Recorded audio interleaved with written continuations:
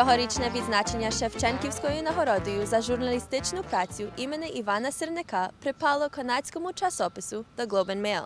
Під час урочистостей з цього приводу нам удалося поговорити про футболіста Андрія Шевченка з кореспондентом спорту Джоном Дойлом, а головного редактора Джона Стакхауса запитати, чому The Globe and Mail не використовує прийнятої форми Київ та столиці України.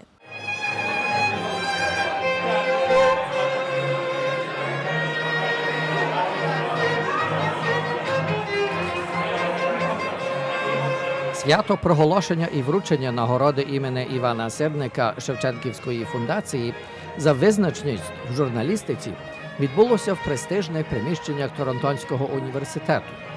Урочисте свято зорганізувала доктор Христина Туркевич. The selection committee members were requested to reward truthful, well-researched, and journalistically sound reporting. The foundation, created by an act of parliament in 1963, has provided over $9 million to the community in support, to support, preserve, and sustain the vibrant Ukrainian Canadian culture and heritage in this multicultural land that we are so fortunate to call home. Нагорода імені Івана Серника за визначність в журналістиці є свідомим напрямом фундації сприяти публічній документації українського буття в Канаді. Президент Української канадської фундації імені Тараса Шевченка Андрій Гладишевський пояснив думання фундації та потребу створення такої нагороди як стимул на включання українсько-канадської тематики в публікаціях канадської преси. we have a heritage of coming from a country, Ukraine, where news about that country was suppressed for basically several generations, where no bit of news about that country, now a republic, was allowed to actually come out to the West. And so it is of great significance to me, and the fact that this award was named in honor of John Syrnick, a visionary a long-time influential, influential editor of one of the oldest Ukrainian newspapers in Canada, Ukrainsky Holos, Ukrainian Voice. For over 100 years, that newspaper has been in Canada. It is his dedication and farsightedness that inspires this award.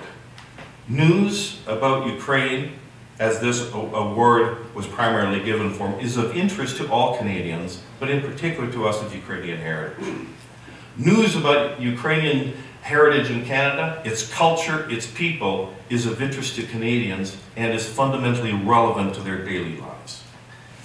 We are here this evening to pay tribute to the Globe and Mail for their coverage of the 2012 elections in Ukraine with well-researched and thoroughly written articles by several journalists.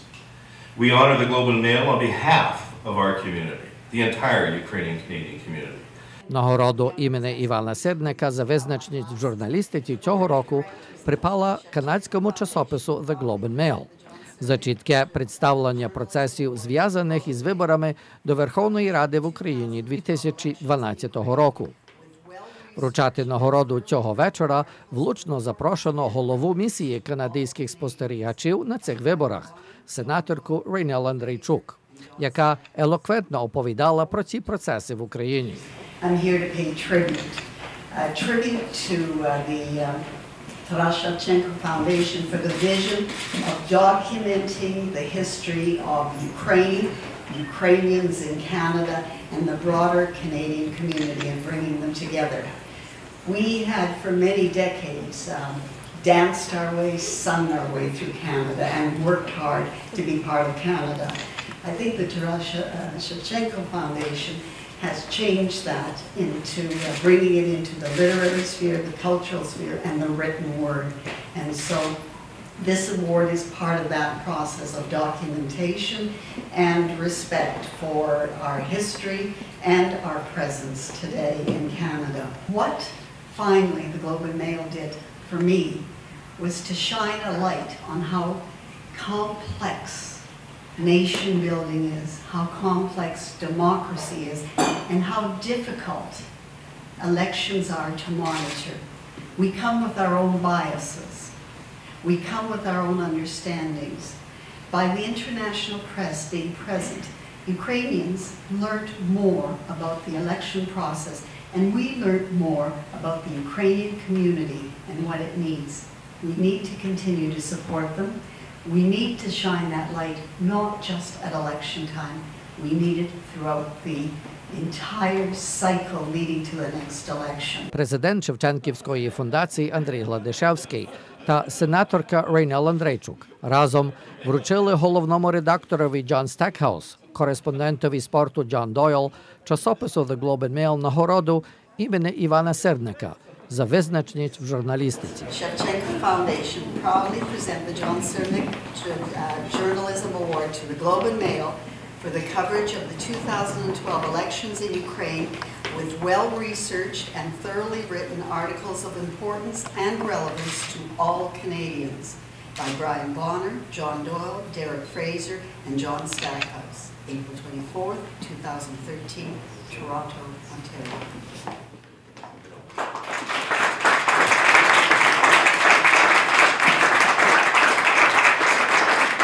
Нагороджений головний редактор гарно говорив про труднощі і намагання українського народу створити дійсну демократію в Україні. The World Association of Newspapers, which holds its uh, annual conference in a different country every year, had scheduled a number of years ago for it to be in Kiev last year, and then realized that the conference was coinciding with the elections, and it was generally believed the elections were not legitimate, and that would be very awkward for a group of publishers and editors to be meeting to talk about uh, newspapers and our role in the world while an illegitimate election was taking place. There was a serious debate about moving the conference or canceling it altogether, and it was finally decided that we would go ahead and we would hold it uh, and state our purpose as journalists uh, in shedding light on the darkest corners of the world, uh, whether we are welcome or not in those, uh, in those corners. And I was uh, very fortunate uh, to be part of a wonderful moment, I think, both in uh, newspaper journalist uh, history and Ukraine history, when the president came to give an address to our conference. And uh, as soon as he rose up, the Ukrainian editors in the room all stood up together in protest, silently, and stood through the entire speech. Uh, I've never seen a head of government look more intimidated uh, being stared down by silence. It's an extraordinary sight to be that powerful and yet so weakened by silence. And uh, if there's anything I could leave with you tonight, it was just the, uh, the uh, journalistic passion that we have to shed light on that and uh, the vigor that I take away from tonight that we have to continue with this and uh, hope we will continue to cover not only the Ukraine but uh, uh, all the important countries of, uh, of the world in the years ahead. Після урочистостей ми заговорили до кореспондента спорту Джон Дойл на тему Євро 12 і про роль в ньому футболіста Андрія Шевченка. My, my first encounter with Ukraine, both in terms of politics, soccer, all of that, was at the World Cup in Germany in 2006. And I, it was, uh, I was there to cover the tournament, and by a, a quirk of fate and timing and travel, I was actually at all of Ukraine's games at the 2006 World Cup. And I remember the first game they played, which was in Leipzig. And I remember being at the train station watching the supporters of Ukraine come out of the station, and they were kind of shy, they were kind of quiet compared to most of the fans at the tournament. And I realized that that was because it was Ukraine's first time at a World Cup. It was Ukraine's first opportunity as a newly independent country to be truly on the world stage at the World Cup. And I was impressed by that, by, by uh, the significance of their attitude and their fact that they were awed by being at the World Cup. The next day, I, have, I was in Berlin, and before the game in Berlin that evening, I did what most tourists do in Berlin. I went to see the remnants of Checkpoint Charlie. And at that visit to what was Checkpoint Charlie, I noticed that many of the people who were visiting at the same time were the Ukrainian supporters who had been in Leipzig the day before. And I watched them go through and around Checkpoint Charlie, and I realized that for them, of course, it had a far greater significance than it did for me, because the end of Checkpoint Charlie, the end of the Berlin Wall, the end of the Soviet Union meant finally an opportunity for independence for Ukraine. And I was deeply impressed by their attitude, by the way they behaved, by their entry into the world by being at the World Cup. And at that point, I knew that Euro 2012 would be in Poland and Ukraine, and I hoped I would be there, and I was. And it was an absolute pleasure to be in Ukraine for that tournament. Now, what, do you think of the Ukrainian team, uh, including Shevchenko? Well, I think Shevchenko's days are gone. Obviously, he's retired. He was a great player, and I think it was a, a testament to, to his skills as a player, a testament to his commitment to, the, to Ukraine and to the national team, that even so late in his career, he performed so well, so astonishingly well at the Euro 2012 tournament. It was a remarkable feat on his part. He lifted the country, he lifted the team. And I think one of the things he did in doing that was to give hope for the future, to let the public know, the supporters know, that it didn't end with Ukraine co-hosting the tournament, but that, that there would be always be a great Ukrainian future in football, in international soccer. I think the Ukraine team will do well for the foreseeable future, and he will be an inspiration to them. Ми також приступили до головного редактора Джон Стекхаус про процеси розвитку демократії в Україні. You mentioned very interesting comments about Russia and Ukraine, and Ukraine sort of being a pivotal point. Yes. Uh, but there's, are you aware of all the bullying that seems to be happening? Russia bullies the whole world. Yes. But it, bu- bu- it, it, it bullies Ukraine that much more. Ab- And, absolutely. and it would be great to, to hear a lot more about that in, in your paper. It, it, it, it is something we should pay more attention to because the, uh, the rise of Putin's Russia has uh, been significant uh, for the world, both uh, positively and negatively. And we need to uh, pay a lot of attention to the negative consequences of that. Ukraine bears the brunt of it more than uh, perhaps any other, any other country. And uh, we should pay, pay more attention to that. I was uh, struck during my visit to uh, Kiev last year by the presence, economic and political, of Russia in the country and the threat that that poses to all of Europe. If uh, you, you I doubt we're going to see Ukraine toppled the way it might have been a, a century ago, but we'll see this creeping, creeping influence, political and economic, uh, which is should be a concern to uh, not only all of Western Europe but to uh, the rest of the world. It seems like a sensitive topic for the Ukrainian community, the way uh, Kyiv is mentioned. Yes. K-Y-I-V as Yes. opposed maybe maybe you could tell us about what your position is and why you're still still in that sort of Soviet uh, world. Yes, that's a that's a good question for you to ask, and it's something that we have an ongoing conversation about. It's uh, uh, not uh, not restricted to Ukraine or Kiev. It is uh, something we deal with with respect to place names around the world: Mumbai, Bombay, Yangon, Rangoon, in Burma. Uh, we have a style committee that uh, reviews the names that we use every year. I'm not part of the committee. Uh, they determine uh, what is the most uh, authentic uh, spelling of a name. Very difficult, or more challenging with transliterated uh, names, and understanding that spellings can be political statements.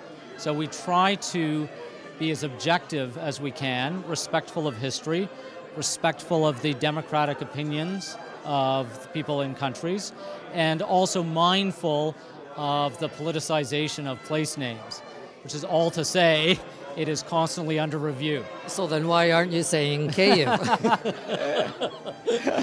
I, I, will raise that tomorrow with the, uh, with the style committee. John Doylum.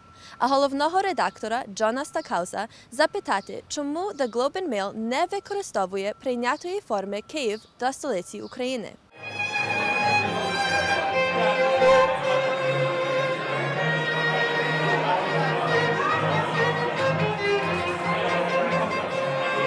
Свято проголошення і вручення нагороди імені Івана Сирника Шевченківської фундації. dollars to the community in to support, preserve, and sustain the vibrant Ukrainian Canadian culture and heritage in this multicultural land that we are so fortunate to call home. Нагорода імені Івана Сирника за визначність в журналістиці є свідомим напрямом фундації сприяти публічній документації українського буття в Канаді. Президент Української канадійської нації за визначність в журналістиці відбулося в престижних приміщеннях Торонтонського університету. Урочисте свято зорганізувала доктор Христина Туркевич. The selection committee members were requested to reward truthful, well-researched, and journalistically sound reporting The foundation, created by an act of parliament in 1963, has provided over $9 million фундації імені Тараса Шевченка Андрій Гладишевський пояснив думання фундації та потребу створення такої нагороди як стимул на включання українсько-канадської тематики в публікаціях канадської преси. Where news about that country was suppressed for basically several generations.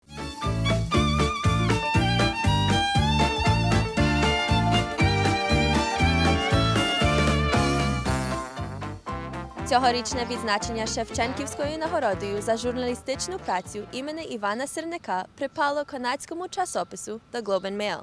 Під час урочистостей з цього приводу нам удалося поговорити про футболіста Андрія Шевченка з кореспондентом спорту